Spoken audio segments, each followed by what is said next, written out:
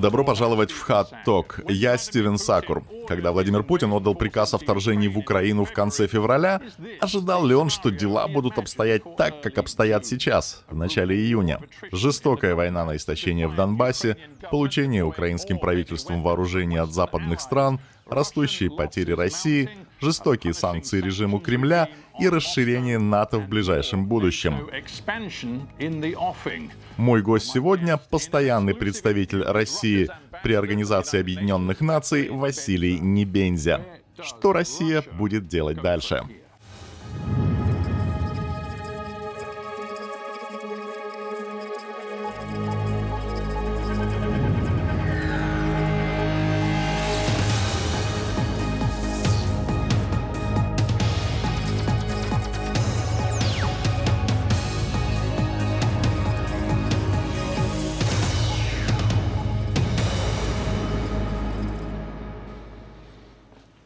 Постпред Василий Небензя с нами из штаб-квартиры в Нью-Йорке. Добро пожаловать в Talk.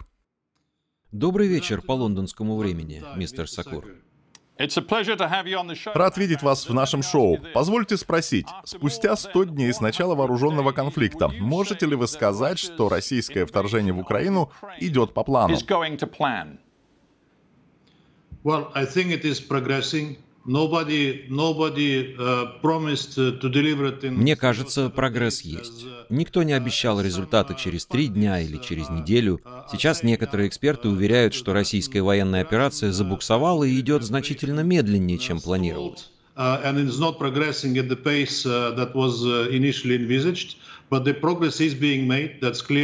Но прогресс есть, он продолжается, и это совершенно очевидно. Одна из причин медленного продвижения — то, что мы не стреляем по гражданским объектам. Мы прицельно обстреливаем военные объекты. Это занимает больше времени. Мы не занимаемся ковровыми бомбардировками или чем-то подобным. Но прогресс есть, это очевидно. Господин Постпред, должен признать, что вы самый высокопоставленный российский чиновник, от которого я услышал, что первоначальная операция застопорилась, что операция идет медленно. Вы признаете, что изначальный план по захвату Киева и установлению нового пророссийского правительства полностью провалился? I'm not aware of these plans, мне о таких планах неизвестно. Мнение о медленном прогрессе на совести тех, кто так говорит.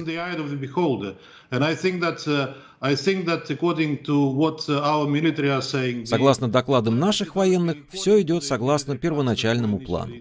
Конечно, небольшие тактические изменения неизбежны, потому что невозможно предсказать, что будет происходить на поле боя. Но план идет своим чередом. Я не думаю, что кто-либо из российских руководящих лиц когда-либо заявлял о намерении взять Киев и установить там то, что вы называете марионеточным правительством. Почему вы не даете своему народу полную информацию о масштабах потерь? Что вы имеете в виду? Я говорю не о вас лично, но с начала марта российское правительство не раскрывало никаких официальных данных о числе погибших российских военных. Тогда число погибших составляло около 1300 человек. Neither, neither have uh, the Ukrainian side, uh, has the Ukrainian side, and it, it's, uh, Украинская сторона тоже не раскрывает эти данные. Это обычная практика в ходе конфликта — не раскрывать военные потери. И, конечно, украинская сторона преувеличивает тяжелые потери с российской стороны, пытаясь преуменьшить собственные.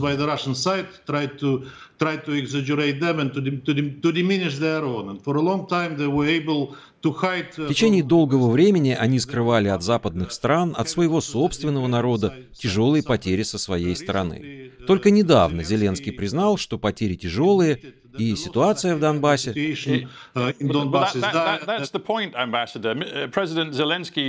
Я говорю о том же. Президент Зеленский недавно признал, что Украина теряет до 100 человек в день в ходе тяжелых боев у Северодонецка и в Донбассе. Россия же, согласно данным украинской стороны, потеряла 30 тысяч или больше человек в этой войне. Мы не можем подтвердить эти цифры, но разведка США, используя все доступные ей инструменты, говорит о потерях более чем 15 тысяч человек. Думаю, мне не стоит напоминать, что за 10 лет войны в Афганистане ваши потери составили чуть меньше 15 тысяч военных. Я хочу сказать, что масштабы ваших потерь за последние 100 дней потрясают, и они шокируют россиян, если они об этом узнают. Я тоже не могу подтвердить озвученные потери. Как я уже говорил, официально их не раскрывают, а в ходе любого конфликта стороны склонны сильно завышать потери противника. Я не могу сообщить вам цифры, и я не могу комментировать, что там Украина или США говорят по этому поводу. Вы говорите о прогрессе. Вы видите его из Нью-Йорка так же, как я вижу его из Лондона, но осмелюсь предположить, что вы получаете данные из Москвы. Но как бы то ни было, очевидно, что через 100 дней ваши войска оказались в патовой ситуации в Донбассе, вы не взяли Северодонецк, вы не можете взять Луганскую область, я уже не говорю о Донбассе. Если это прогресс, то в чем состоит план?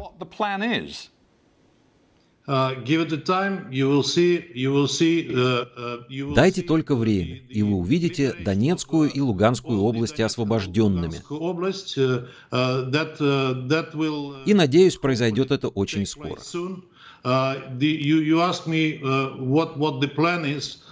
Вы спросили меня, в чем план. План, изначальные цели операции были объявлены публично. Это нейтралитет Украины, демилитаризация и денацификация страны. Освобождение Донбасса была главной целью, и она сейчас проводится в жизнь. Собирается ли Россия прекратить использовать призывников в этой войне? Владимир Путин обещал это еще в марте. Позже Минобороны призналась, что это происходит. BBC в мае разговаривала с матерью, чьи двое сыновей призывников оказались в Украине. Это закончится или нет?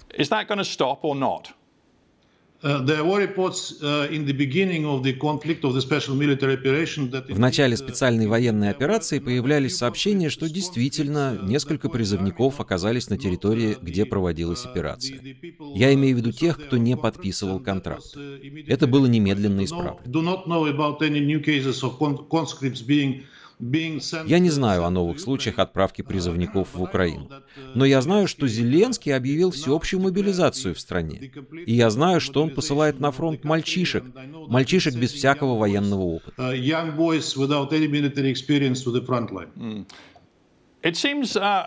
Кажется, месяц или два назад вы и другие высокопоставленные российские дипломаты требовали, чтобы США и европейские страны не отправляли тяжелое вооружение в Украину. По словам Сергея Лаврова, если бы это произошло, то повлекло бы серьезные последствия. И он сказал, что фактически это может привести к эскалации конфликта вплоть до ядерной конфронтации. Это тяжелое вооружение в настоящее время поставляется, в том числе и реактивные системы залпового огня из США и Великобритании. И даже немецкое правительство посылает тяжелую артиллерию. То есть это уже происходит. Так где же последствия? Uh, uh, uh, Недавно мне попалась цитата одного из помощников министра обороны США, который сказал, что США не хотят эскалации конфликта, но Россия не имеет права голоса в том, поставлять или не поставлять оружие Украине.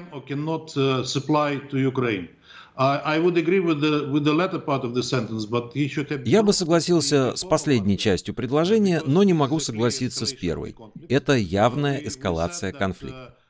Мы говорили, что оружие, уже поставленное, и то, что будет поставляться, заставит нас изменить решение и отодвинуть украинские силы от российских границ настолько далеко, чтобы они не смогли выйти на территорию ни России, ни Донбасса. Так что это явная эскалация.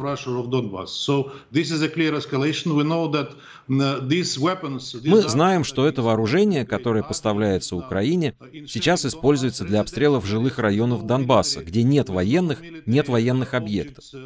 Так вот, это только свидетельствует о том, что это не война с Украиной. Украина — это просто пешка в большой геополитической игре.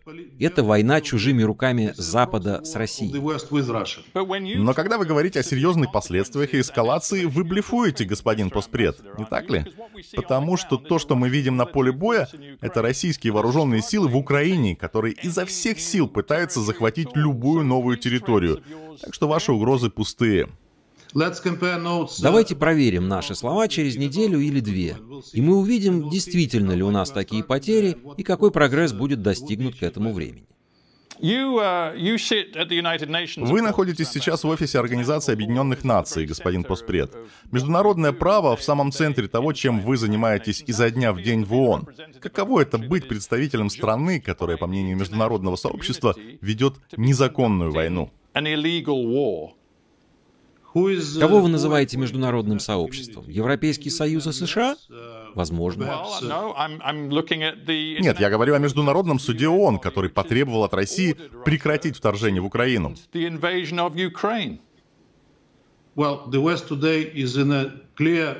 Что ж, Запад сегодня пребывает в явном бреду по поводу того, что происходит на Украине.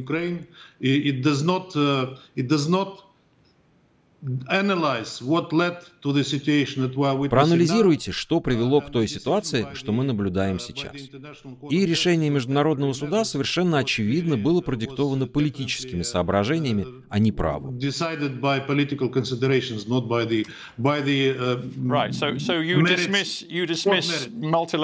Таким образом, вы отвергаете как предвзятые многосторонние институты, такие как Международный суд.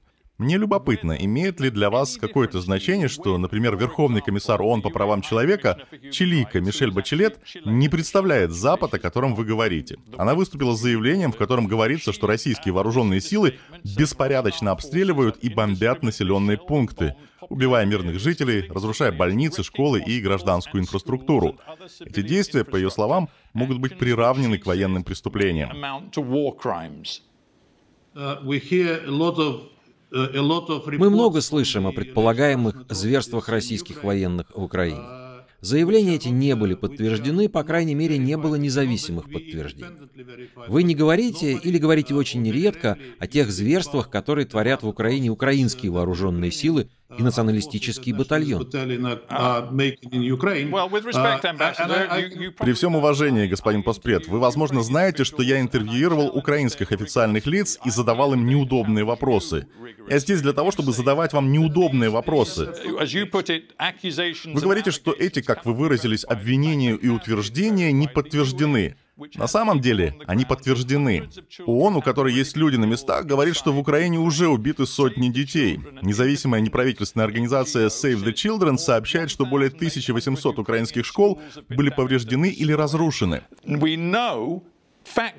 Нам достоверно известно, что около 400 украинских медицинских учреждений повреждены или уничтожены снарядами и бомбами. Это не просто обвинения и не голословные утверждения. Это факты, являющиеся прямым следствием военной операции России в Украине.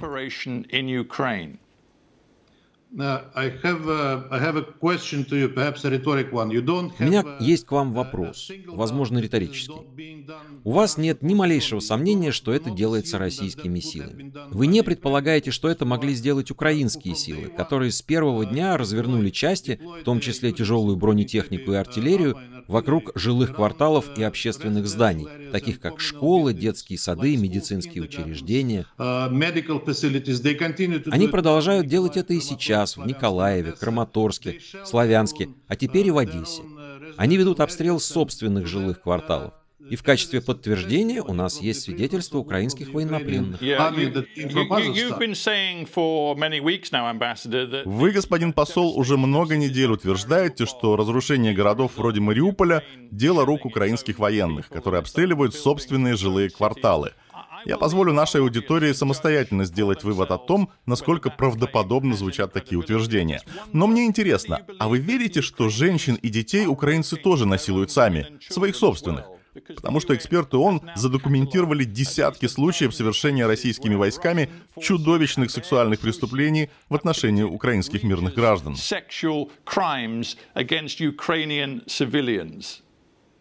Uh, Uh, uh, uh, Сначала о жилых массивах Мариуполя. Чем занимались украинские вооруженные силы и националистические батальоны?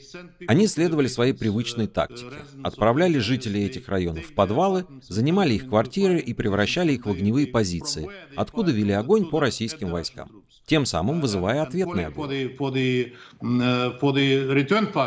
Uh, now on the on the uh, sexual violence, we just had a meeting uh, on Monday, on the 6th of June. Теперь, что касается сексуального насилия. 6 июня в понедельник состоялось заседание по Украине, сексуальному насилию, конфликтам и торговле людьми. И это была своеобразная встреча, потому что никто из выступавших, ни одна делегация, включая председателя Европейского Союза Шарля Мишеля, который специально прибыл на эту встречу, не могла привести ни одного доказательства сексуального насилия, совершенного российской армией. Uh, we were the only ones who Мы были единственными, кто привел примеры сексуальных преступлений, совершенных украинскими военными. Я мог бы повторить их сегодня, если вам не терпится это услышать.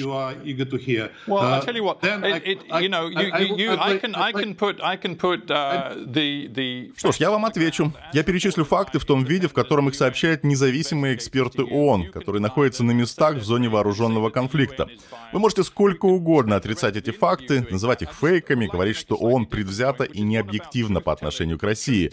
Мы с вами так можем продолжать до самого конца интервью. Но я о другом. Я о правде и доверии, господин постпред. Мы знаем, что вы говорили неправду даже в ООН.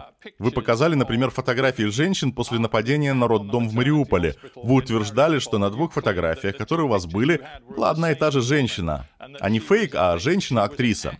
Это неправда. Расследование показало, что это были две разные женщины. Одна из них скончалась после нападения. Вторая была отправлена российскими войсками в Донбасс. То есть все, что вы говорили, было абсолютной ложью. Вы также уверяли, что у вас есть свидетельства о якобы существующем в Украине заводе по производству биологического оружия. Даже в России один из ведущих экспертов в этой сфере назвал представленные вами доказательства абсурдом, который не имеет смысла. То есть вы, господин посол, говорите неправду.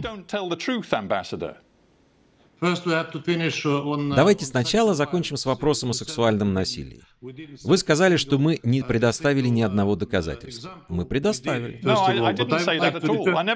Нет, я этого не говорил. Я никогда не говорил, что вы не представили доказательства сексуального насилия. Я сказал, что мы могли бы обмениваться подобными обвинениями весь день. Я хотел изложить вам случаи, которые были разоблачены. Проще говоря, те случаи, когда вы не говорили правды. Пока меня не разоблачили, как вы говорите, позвольте мне закончить сексуальным насилием. Одним из докладчиков Совбеза была представитель генерального секретаря по вопросам сексуального насилия и конфликтов Камила Паттон, которая сообщила, что слышала сообщение, очевидно от украинской стороны, о 124 случаях предполагаемого сексуального насилия, совершенных российскими военными, которые не проверялись и не могут быть проверены на данный момент. Это раз. Uh, Два. Знаете ли вы историю украинского омбудсмена Людмилы Денисовой, которая была уволена украинским парламентом из-за той лжи, которую она распространяла по этому поводу? Господин Поспред, я думаю, вы высказали свою точку зрения, что вы отрицаете утверждение о сексуальном насилии. Нам нужно продолжать интервью, потому что у нас заканчивается время, а важные вопросы остались.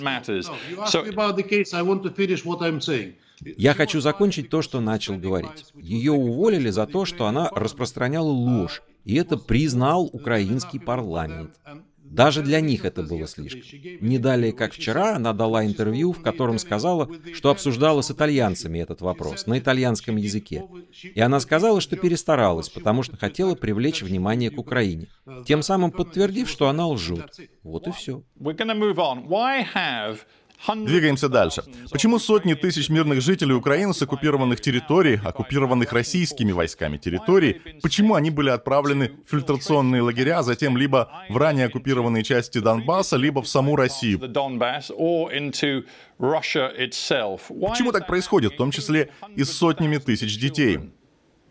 Uh, they hundreds of thousands of children. They Эти сотни тысяч детей, они не насильно были отправлены в Россию. Это их собственный выбор. Мы предоставляли гуманитарные коридоры тем, кто хотел эвакуироваться из зоны боевых действий. Мы никогда не указывали этим людям, куда им идти, на запад или на восток. Это их свободный выбор. Те, кто сегодня находится в России, а это примерно 1,6 миллиона человек, они все сделали свободный выбор. Их не заставляли приезжать в Россию.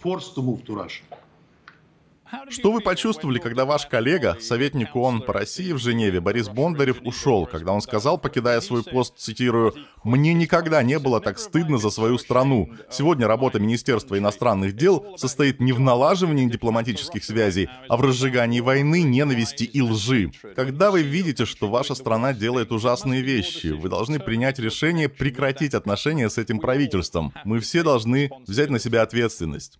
Вы готовы взять на себя ответственность? Вы призываете меня сделать то же самое? Мне интересно, заделали вас это за живое, господин постпред?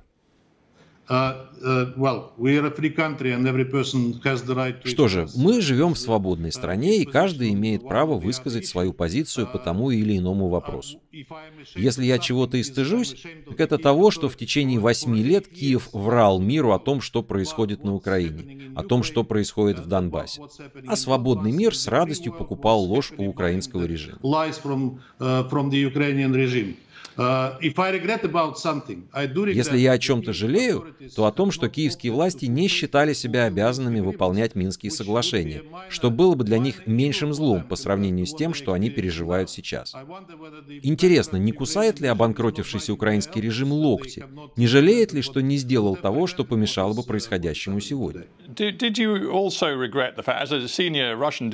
Сожалеете ли вы, будучи высокопоставленным российским дипломатом, о том, что международное сообщество видит, как Россия использует продовольствие в качестве оружия? Это высказывание председателя Европейского совета Шарля Мишеля. Вы используете продовольствие, отказываясь экспортировать большую часть вашего зерна на мировой рынок и препятствуя усилиям Украины экспортировать свои запасы.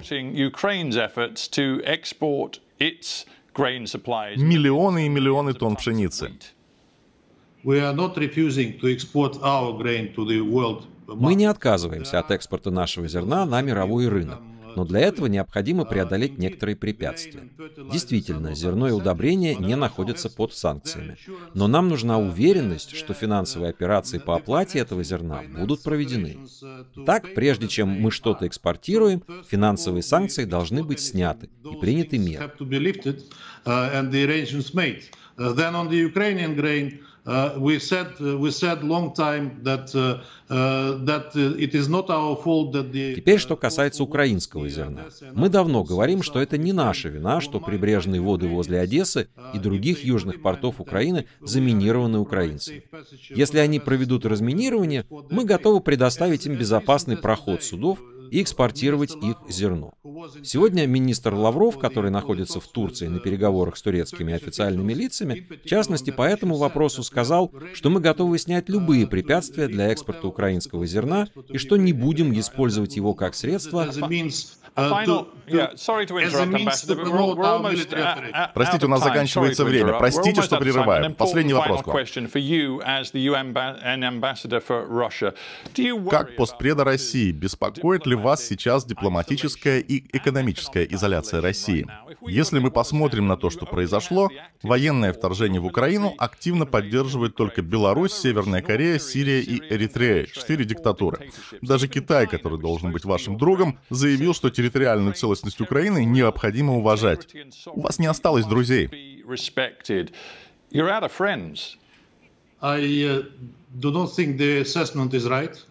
Не думаю, что ваша оценка верна. Я не уверен, что ваши попытки изолировать Россию увенчались успехом. Я думаю, что Запад, возможно, добился некоторых тактических успехов, но проигрывает стратегически. Uh, Одним из явных результатов тех санкций, которые ввел Запад, является то, что вы вообще потеряли практически любые рычаги воздействия на Россию.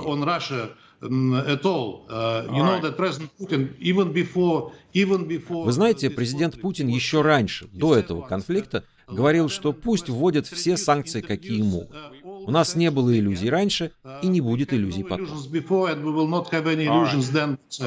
Простите, господин постпред, мы вынуждены закончить. Спасибо, что присоединились к нам из Нью-Йорка. Интервью слишком быстро закончилось. Я не успел обсудить многие темы, как хотел. Что ж, благодарю вас за ваше время. Спасибо.